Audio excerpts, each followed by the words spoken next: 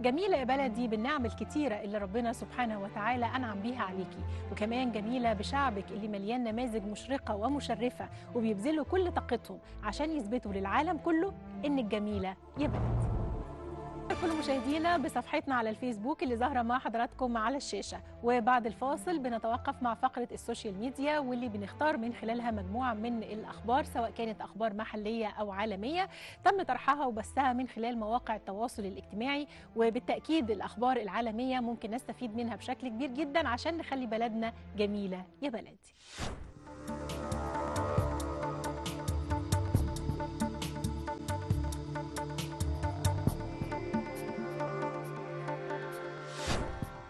خبر معانا في فقرة السوشيال ميديا هيكون خبر خاص عن أغرب المدارس على مستوى العالم.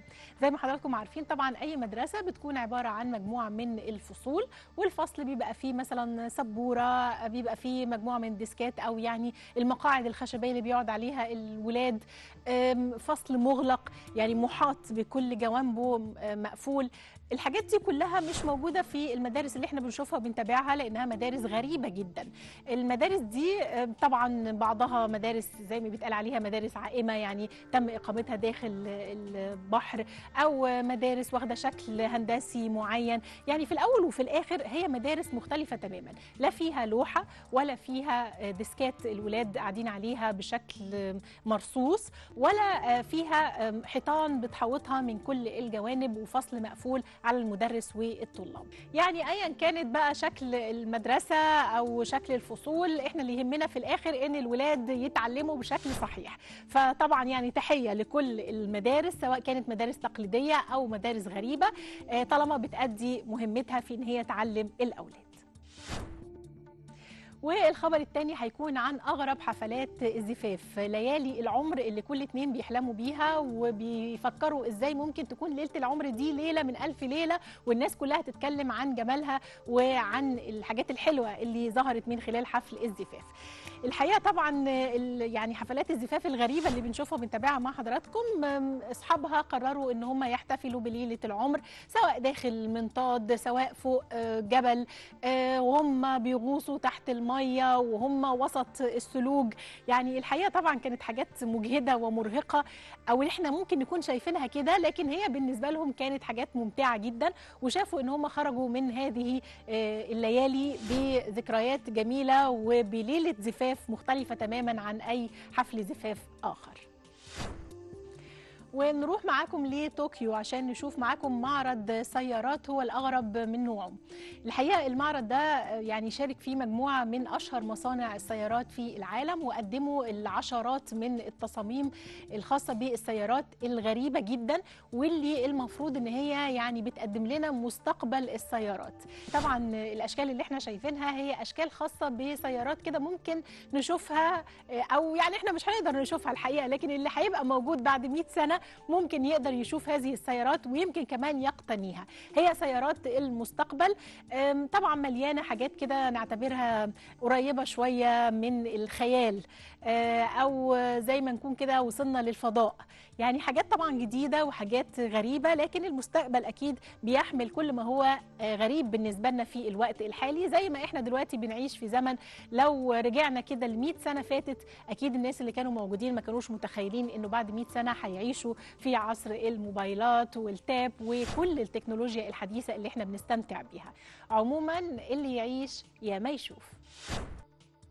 العام الدراسي بدأ من أسابيع قليلة والحقيقة النهاردة من خلال حلقتنا هنحاول إن إحنا نقيم موقفنا. يعني نشوف إيه الحاجات اللي إحنا بدأناها غلط وإحنا داخلين هذا العام الجديد ونشوف إيه الحاجات الصح اللي ممكن نزود منها أو ندعمها عندنا في بيوتنا عشان نساعد نفسنا ونساعد أولادنا في إن إحنا نستكمل هذا العام الدراسي ونحقق من خلاله كل النجاح وكل الإيجابيات. أصبح الاهتمام بالتعليم ضرورة ملحة لكل دول العالم حيث أن التجارب الدولية المعاصرة قد أثبتت أن البداية الحقيقية للتقدم والتطور تكمن في نظام التعليم المتبع واستخدامه للأساليب الحديثة والأساليب العلمية المتجددة. ومما لا شك فيه أن الدول العربية لا زالت تعاني من بعض المشكلات في التعليم إلا أن مصر قد وضعت المشكلة التعليمية في قمة اهتماماتها وذلك من خلال تطوير والنهوض بالمنظومة التعليمية. ولهذا فقد رفعت الحكومة موازنة التعليم في العام المالي المقبل 2018-2019 إلى نحو 115.7 مليار جنيه لتتحقق هذه الأهداف. برحب بكل مشاهدينا وبرحب بضيفتي في هذه الحلقة الأستاذة الدكتورة جيهان الشرقاوي آه، استشاري الصحة النفسية ورئيس لجنة المرأة بالاتحاد العربي للتعليم والبحث العلمي. أهلا بحضرتك معنا. أهلا وسهلا بيكي أستاذة عبير واهلا بكل السادة المشاهدين. إحنا النهارده بنتكلم عن ال- الخناقه اللي موجوده في كل بيت للاسف الشديد وإحنا بنزعل لما بنقول كده لأنه نقول مع بدايه العام الدراسي نبتدي نسمع بقى إيه الاصوات العاليه والزعيق والمشاكل والزعل ويعني حاجات كتيره قوي سلبيات بنسمعها طول السنة عشان خاطر في الآخر يبتدي الناس تقولك يعني أنا خدت نفسي لما خلصنا ما خدت. الأجازة فواحنا في بدايه العام الدراسي كده قولي لنا انت شايفه انه استعدادنا أو يعني دخولنا العام الدراسي بيبقى داخلة غلط من الأول. يعني إحنا داخلين فعلا مش مهيئين كاباء وكأمهات وبالتالي مش مهيئين ولادنا. بصي هقول الأول. بسم الله الرحمن الرحيم. أنت قلتي كمان آه، دخله حلوة قوي في البداية إن إحنا كلنا كأسرة. خلي بالك عندنا حاجة اسمها النفور الأسري. النفور الأسري ده مش جاي بس من الأطفال ده جاي من بابا وماما وكل إخواتنا. يعني already إحنا كأسرة أه. عندنا نفور من حتة اسمها تعليم. صحيح. دخلت المدرسة. أه. طب ده جاي من فين؟ هل هي جاية من ثقافة الأطفال نفسهم ولا جاي من ثقافة الكبار ولا هو من كتر الضغوط اللي علينا إحنا ابتدينا ننفر فعملنا حاجة اسمها mechanism إسقاط على الأطفال؟ الموضوع جاي إزاي. هو already اولا ولادنا هم حالة امتصاص وتشرب مننا إحنا. مم. تمام؟ بيبتصوا النهارده أقوالنا مع أفعالنا. ما بيقولوش النهارده إيه لا أحبوا المدرسة وشايفيننا النهارده إحنا كمان علينا ضغوط المدرسة والمصاريف ودخله المدارس وهيبقى في مدرسين وهنهاتي وهنبتدي نقعد نذاكر. كل ده هم سامعينه. برغم إن أنا لا حبيبي أنا جبت لك الشنطة بس النهارده على النقيض تماما.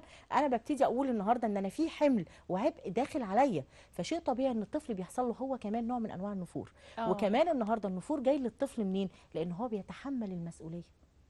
وعامة طب هو ده الأطفال مش المفروض يعني نحمله المسؤوليه شوية برضو ده ده الأساس إن هو يتحمل المسؤوليه آه. بس يتحمل المسؤوليه في أركان حياته مش بس عند الدراسة آه. فأنت عملتي نفور للمدرسة لأن أنت عليك أعباء واجبات آه. لكن لو أنا بالتالي بحمل ابني في بناء شخصيته إزاي إن هو يكون متحمل المسؤولية مم. يعني من البداية أنت يعني بترمي بدل ما يشيل هم واحدة شايل بالظبط كذا لا. مش بشيله هم آه على فكرة المسؤولية أكتر شيء محبب على النفس البشرية آه. لو النهارده لا دخلت ما, ما ده لو إحنا آه بنتكلم صح زي ما لو. إحنا لكن أنا أنا بقولها بت يعني بناء بقولها على الشخصية. فكرة مش بقولها جديا آه، يعني آه. بقولها طبعا دعابه دعابه آه تمام. لأنه أنا فعلا بقول إن إحنا بنشيلهم هم الدراسة بالظبط، وده حقيقي. اشيل له كذا هم تاني يعني المفروض أنا أحسسه فعلا زي ما حضرتك بتقولي إن دي مسؤولية مش هموم يعني والنهاردة يعني عايزة أقول لك حاجة المسؤولية دي محببة لأنك النهارده بقيت إنسان.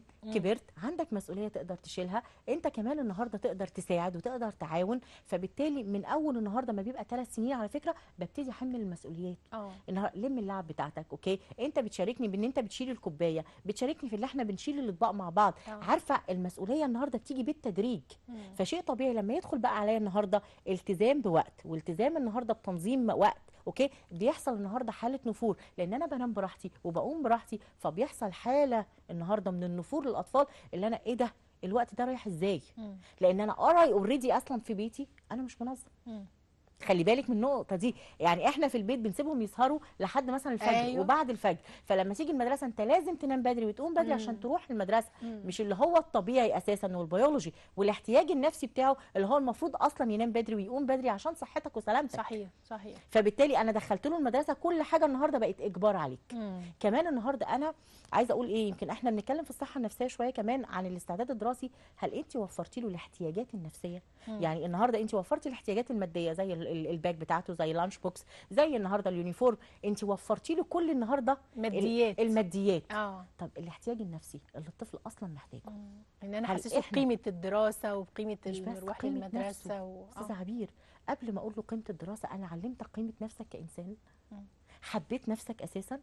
أنا كمان النهارده وفرت لك الاحتياج النفسي اللي أنت محتاجه وفرت لك شروط السعادة اليومية اللي أنت المفروض تبقى فيها إنسان متزن وسعيد الناس كلها اللي؟ بتسمعنا دلوقتي هتقول لك هو إحنا عارفين نوفرها لنفسنا ما إحنا مش عارفين نعيش الجو ده عشان نعيش هي بقى الجزئية دي أيوه هي الجزئية دي آه. أنا من كتر الضغوط اللي عليا الضغوط اللي عليا ابتديت النهارده أعمل حاجة إسقاط على مين مم. على اللي أضعف مني أيوة. أو النهارده عندي في منطقة أمان كده كده معايا ومش. هيسيبني. خلي بالك بقى من الجزئية دي فالأم تسقط على الأبناء لأنها طول الوقت في رهبة إن أنا ممكن النهارده لو الضغوط دي أنا سقطتها في زوجي هيسيبني ويمشي.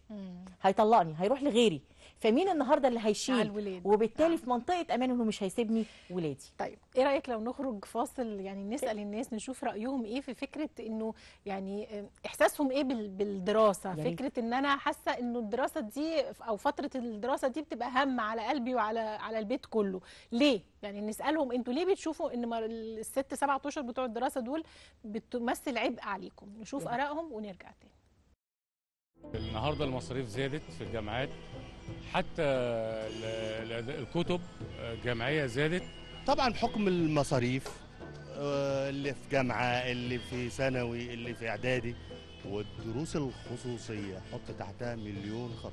فبيضطروا الأهالي يودوا ولادهم السناتر ويدوا الدروس الخصوصية فلازم يبقى في عبء عليهم ربما الطالب برضه في احتياجاته الشخصية كل ده بيعمل ضغط على ولي الأمر. العبء المادي الدروس الخصوصية هي آه، مستنفذة كل ال- الأموال بتاعت ال- الأسرة نرجع مرة تانية مع ضيفتي دكتورة جيهان الشرقاوي ويعني معظم الناس طبعا بتتكلم برضه هنرجع نأكد تاني على فكرة الضغوط ال- المادية سواء المصاريف الخاصة بالدراسة أو باللبس أو بالكتب أو كمان ال- المتطلبات اللي بتطلب من الولاد بعد ما بيدخلوا ال- المدرسة تمام. آه، والمصروف والى آخره يعني فخلينا نقول إنه إزاي أنا أهيئ نفسي وهل ده المفروض يبقى استعداد مما قبل ده الدراسه حقيقي.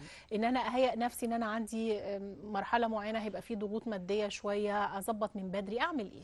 بصي هقول لك حاجة. إحنا دايما نقول كده لما بنيجي نعمل حاجة اسمها الإنسان ربنا سبحانه وتعالى قسمه لسبع أركان. مم. يعني لما تيجي تتعاملي حتى مع شخصك بنتعامل النهارده الركن الروحاني اللي هو علاقتك بالله سبحانه وتعالى المفروض تكون النهارده طقوسك وعباداتك إزاي؟ أيوة. بعد كده بتنزلي على الركن الشخصي. الركن الشخصي ده اللي هو النهارده آه، هدفك إيه في الحياة؟ مظهرك اتخاذ القرارات كل ده النهارده في الركن الشخصي. في جزء بقى الركن اللي حضرتك بتتكلمي فيه الركن المادي. مم. تمام؟ هو ركن مهم جدا. إزاي بيتقسم؟ لو أنا من البداية طول الوقت ودايما إحنا نعملها كده المفروض إنه يتقسم حاجة اسمها لو أنت مثلا داخلك 60000 جنيه. فإحنا بنقول لك النهارده إن أنت هتطلع كل شهر منه 100 جنيه حاجة اسمها المدى البعيد اللي هو الادخار اللي هو عايز حد يشتري حتة أرض بيأمن مستقبل ولاده الكلام ده كله. ف already اسمه الادخار للمدى البعيد. بعد شوية بنقول له هنشيل 100 جنيه من نفس ال 1000 جنيه برضو okay؟ حاجة اسمها المدى القصير. دخلت مدارس. مصيف. already أنا عارف إن أنا مش هتفاجئ إن أنا داخله عليا مدرسة شهر تسعة. آه. تمام؟ أنا already مستعد إن أنا بعد كام شهر في مدرسة. فبالتالي هي بنعمل لها جمعية. بنبتدي نحوش. بنبتدي ندخر جزء من من المبلغ بتاعنا الشهري على أساس إن أنا النهارده في دخلة مدارس. فأنا هيأت نفسي من قبلها. مم. كمان في جزء من مرتبك حاجة اسمها ترفيه. لازم تستمتع بفلوسك.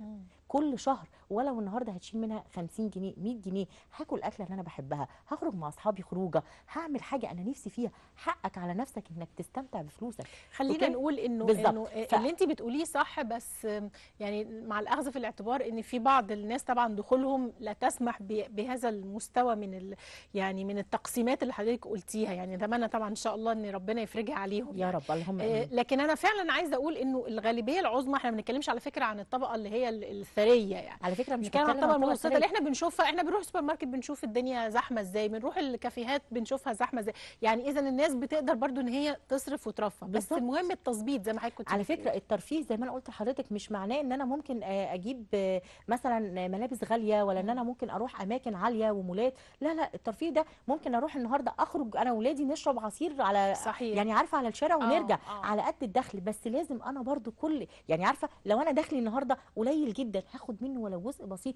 لازم ترفه بيه عن نفسك. خلينا نرجع بس تحديدا للدراسة. يعني الشكوى الدائمة من كل الناس إنه السنة قصيرة والمناهج طويلة وإحنا مش بنلحق نلاحق وعلى طول في امتحانات وعلى طول بن بن يعني ورا بعض ورا بعض. أول حاجة هسألك فيها هو أنا لازم أقعد جنب ابني أو بنتي وهما بيذاكروا ولا من وهم صغيرين أعودهم إن هم يذاكروا لوحدهم؟ حلو قوي سؤالك ده يا أستاذة عبير. من البداية اولا لازم النهارده أشوف نوع ونمط شخصية الطفل. يعني already في أطفال النهارده ده على حسب بقى الاحتياج النفسي الأساسي بتاع الطفل. يعني في طفل مدخله أساسا التلامس. okay؟ ده اللي عايزك تلمسيه دايما. ف already حتى وأنت قاعدة في المذاكرة اللي أنت رايحة جاية هتلمسيه وتطبطبي عليه عشان توفري له النهارده عنصر الأمان فيبتدي النهارده يستقبل المذاكرة براحته. okay؟ الناس اللي بتحب الوقت أو اللي هي مدخلها في الحب الوقت اللي هو أنت بتقضي معاها جزء من الوقت مش بتعملي النهارده أو تعملي الواجب مكانه لأ. أنت بتقضي معاه وقت من المذاكرة عشان يحس بالحب والأمان.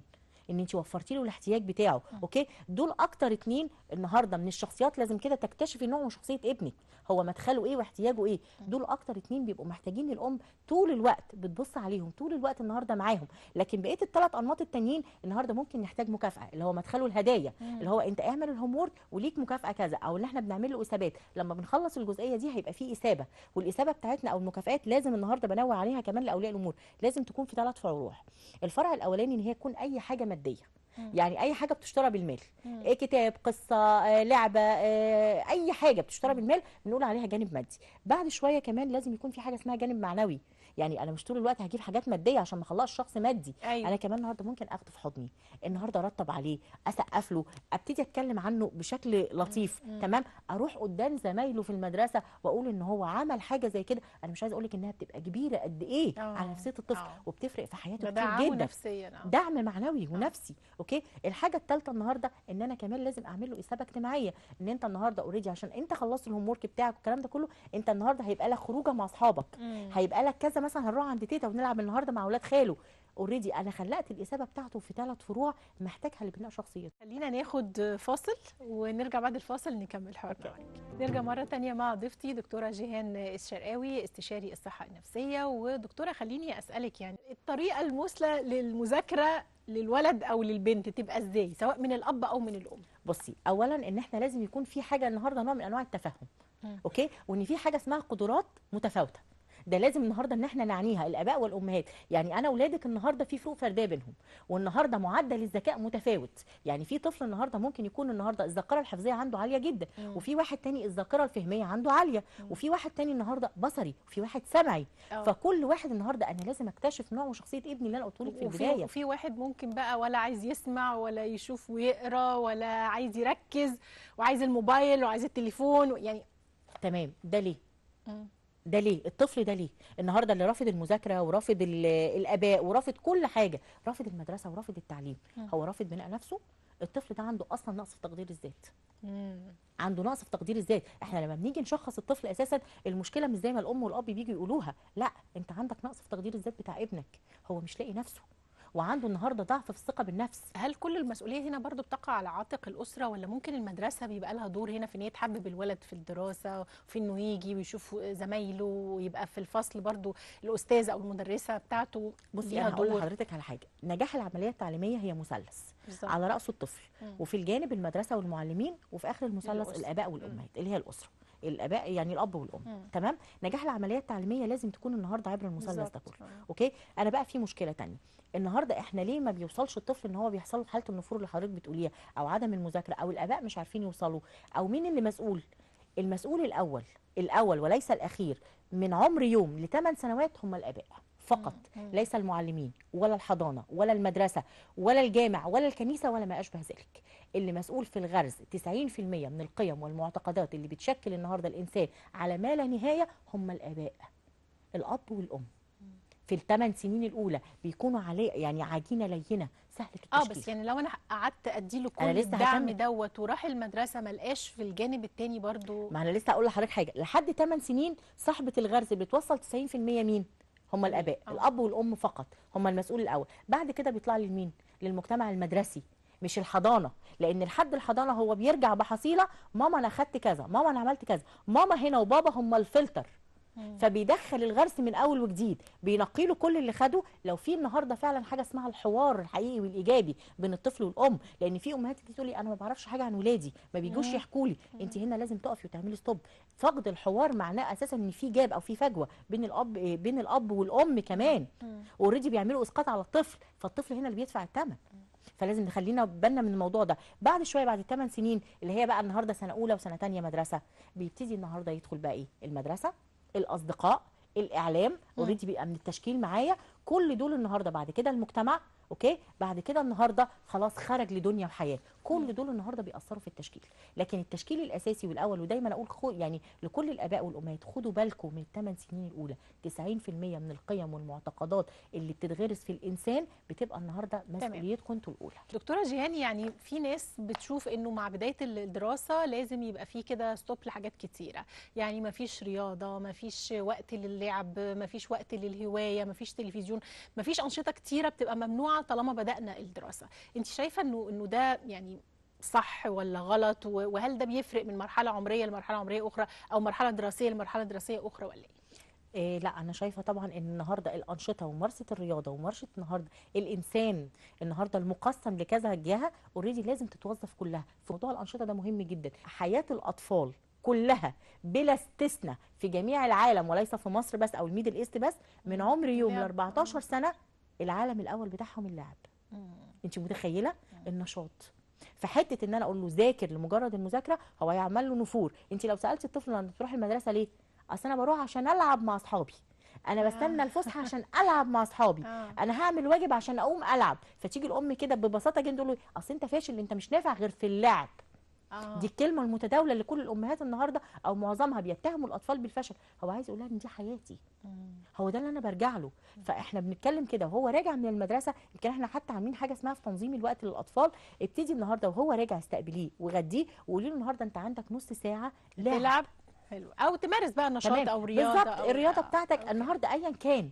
تمام؟ تمام. وبعد كده هنبتدي نحط المهام بتاعتنا الوظيفية لأنك كبرت وبقى عندك وظيفة وده شغلك. تمام.